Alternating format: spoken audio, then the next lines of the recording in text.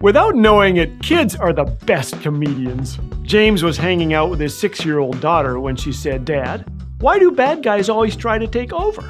James replied, Because they want to be in charge and make all the rules. And the girl thought about that and said, Then why don't they become mums? Hey!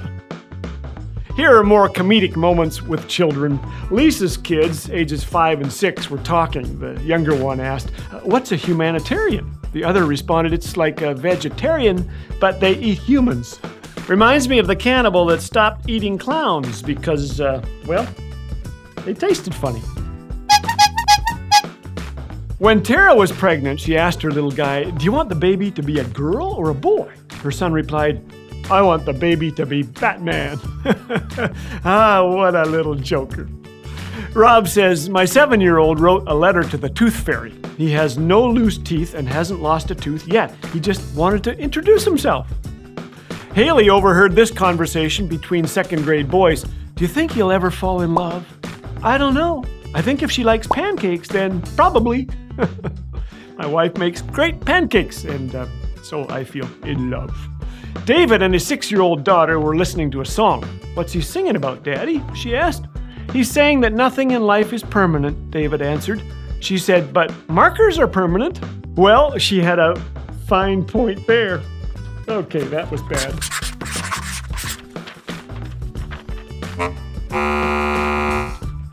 Even the most hardened adult can't help but smile when a little child prays.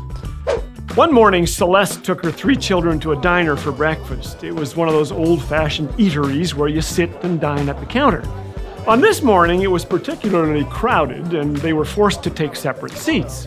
Eight year old Mary was seated several stools away from her mother, and when her food was served, she called to her mother in a loud voice, Mom, don't people say grace in this place?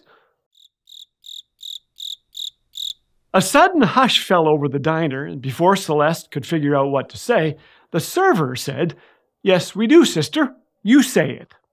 All the people in that place bowed their heads. Mary did too. Then, in a clear voice, she said, God is great, God is good, and we thank Him for this food. Amen. Not surprisingly, smiles broke out all over that diner. I love the innocent faith of a child. I love the way they live in wonder at bugs and snow and the taste of a pickle. I love their questions about the moon and the stars and their laughter in the presence of a puppy or a kitten. It's like they're saying, please, not so serious. Loosen up. Nobody gets out of here alive, you know. So let's lighten up and look up. it isn't until we get older that we learn to keep our heads down and our mouths shut. Of course, this isn't always a bad thing. We shouldn't always say what we're thinking, but we could all use a daily injection of kiddish innocence, of childlike faith, in a loving God who so obviously created these wonders around us.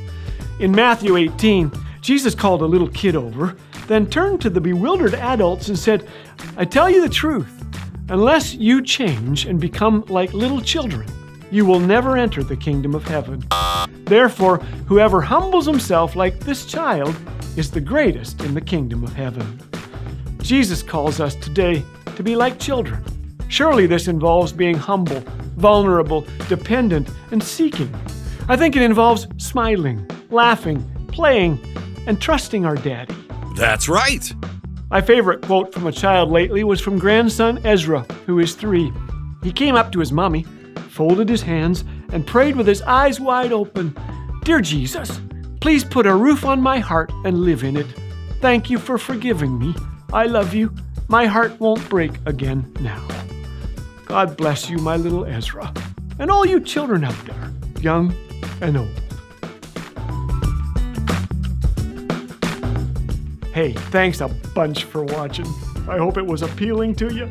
Don't be like a banana. Don't be crooked and hanging out in bunches now. Thanks for subscribing too. Would you just push that button? You won't believe what happens. You know what'll happen? You'll be subscribed. Yes!